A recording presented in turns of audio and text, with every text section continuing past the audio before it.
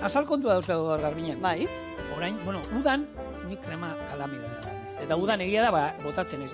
Eta udan jendeak eguzkiagatik kasu egiten digu azalei, baina uda ondoren jendeak zaintzen du oraindik azala, jarraitzen du kremak ibiltzen, erabili beharko lituzke. bai, erabili beharko lituzke, eta normalian ibili behar baino gutxiago erabiltzen dira.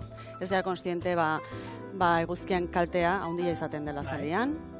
Odeiak daudenean ere, eh? izpi txarrak ba, ba, pasatzen dira odeietatik ere, eta kaltetzen dute azala.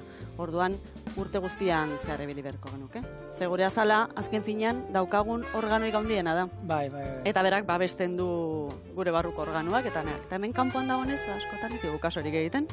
Bai, bai, ja, Baina- betikoa hor da, da. eta egia da nik hori erlazionatzen beti udare egin, baina gero, Ez. bueno, aurtengo udakin egia esan. ez da. Hoi da, hori da, baino. baina, Ez, bai. baina, ni, bueno, a ver, ni eguzkia hartzen, baina mendian ibiltzen naiz egunero, eta eh, dena, Jose Moreno, Bai. hartzen, ez? Mendian ibili, eta Hori da. joiten digu. beti. Horregatik, o terraza batean gaudenian, edo ibiltzen gaudenian, ez gara konturatzen, baina guztia, hortxe dago beti. Aha. Eta orduan babestu behar dugu urte guztian zehar. Urte guztian zera. Urte guztian zehar. Bai, hori da, garrantzitsua. Bai. Eta hor, hidratazioa beha oso garrantzitsua izango da, ez? Garrantzia asko hartzen du, ez? Bai, bai. Hidratazioa eta pilina. Ai, pilina da azala esfoliatzea, Bai. dauzkagun zelula hila horiek kentzea, ze gero hidratazioak e, emaitz hobiak ematen ditu. Ze bestela hor baldin badauzkagu kapatxo bat, ba, barrura sartzen ez duna, uzten ez duena, ba, ba ez da oso Hoize izaten da, hori guante antzeko, estropa joantzeko... Bueno, bai, oie, hori bai. pilin mota bada, bai, bai. Pilin mota asko daude, azal bakoitzantzako, bai, egokiena aurpegirako Bai. bintzat kontutan eduki behar da, baina gorputzian, etxean egiteko, e, guante horiek ondo, ondo daude.